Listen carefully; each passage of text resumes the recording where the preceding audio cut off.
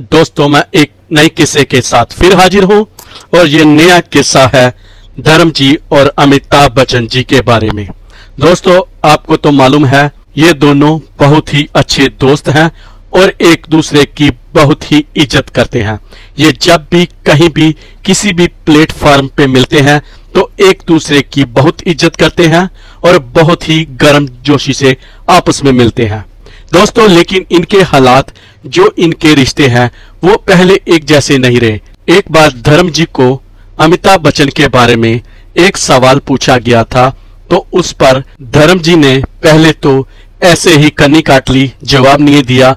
लेकिन जब उनसे बार बार यही सवाल पूछा गया तो उन्होंने बहुत ही तलख जवाब दिया अमिताभ बच्चन जी के बारे में।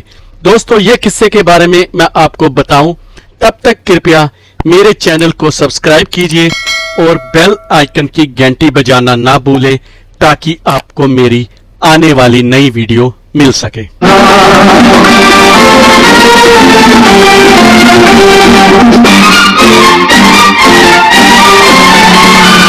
धर्म जी और अमिताभ बच्चन अपने समय के काफ़ी बड़े सुपरस्टार रहे हैं और इन्होंने बड़ी बड़ी फ़िल्मों में काम भी किया है।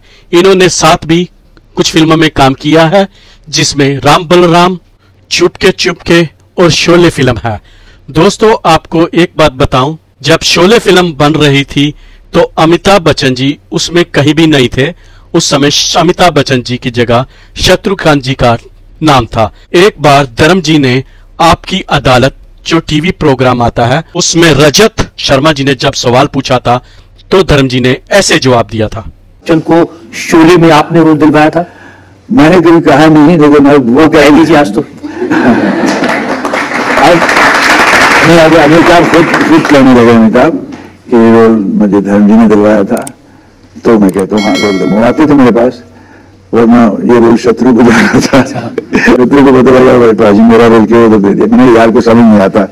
देखा दोस्तों आपने सुना कि ये शत्रु का रोल था जो जय का वो चला गया अमिताभ बच्चन को जब ये शोले फ़िल्म बनाई जा रही थी। असल में इसमें जय बहादुरी के साथ पहले शत्रुघ्न सिन्हा को कास्ट किया गया था, लेकिन क्योंकि ये फ़िल्म बन रही थी और अमिताभ बच्चन जी धर्म जी के पास गए थे, और उसके बाद जय बहादुरी और अमिताभ बच्चन जी के कहने पर धर्म जी ने रमेश सिप्पी से बात करके ये रोल अमिताभ बच्चन को दे दिया, जबकि ये शत्रुघ्न सिन्हा को जा रहा था।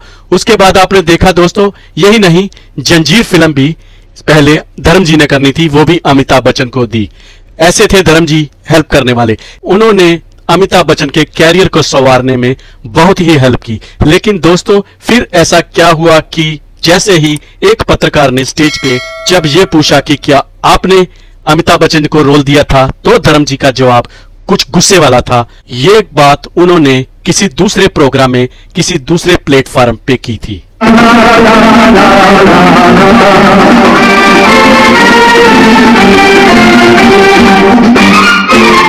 दोस्तों, एक बार पंजाबी टीवी में अमिताभ बच्चन जी के बारे में यही सवाल धर्म जी से पूछा गया था कि क्या ये बात सच है कि आपने अमिताभ बच्चन को शोले वाला सीन दिया था, शत्रुघ्न साना का पत्ता काट के? तो धर्म जी ने पहले तो ये कनी काट के जवाब देने से मना कर दिया और बोला, मुझे याद नहीं।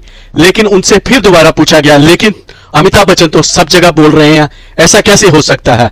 तो धर्म जी ने उस समय बोला कि अमिताभ बच्चन जी ने तब बोला जब वो पूरे पीक पे थे, जब वो सुपरस्टार थे। तो ऐसे लग रहा था जैसे वो बहुत ही अच्छे इंसान है, वो किसी का एहसान नहीं भूल रहे। लोगों को लगने लगा कि अमिताभ बच्चन कितना अच्छा इंसान है, ऊपर इतना जाके भी अभी तक ये धर्म जी का एहसान नहीं बोला। तो ये बहुत गलत बात थी। मुझे इस बात का गुस्सा है कि उसने पहले नहीं बोला अब बोल रहा है, जब वो बहुत ऊपर चला गया। दोस्तों, उसके बाद उस पत्रकार ने उसके आगे धर्म जी से कुछ नहीं पूछा, क्योंकि उनको पता चल गया कि धर्म जी अभी गुस्से में है। दोस्तों, आपने भी ये किस्सा क्या सुना हुआ है कि पत्रकार के ऊपर ऐसा भड़के थे? और आपको क्या लगता है धर्म जी ने गलत किया? पत्रकार के ऊपर भड़के या ठीक किया? या अमिताभ बच्चन जी ही कुछ ऐसे हैं? दोस्तों, मैं अपने नए किस्से के साथ एक बार फिर आऊँगा। तब तक के लिए कृपया मेरे चैनल को सब्सक्राइब कीजिए और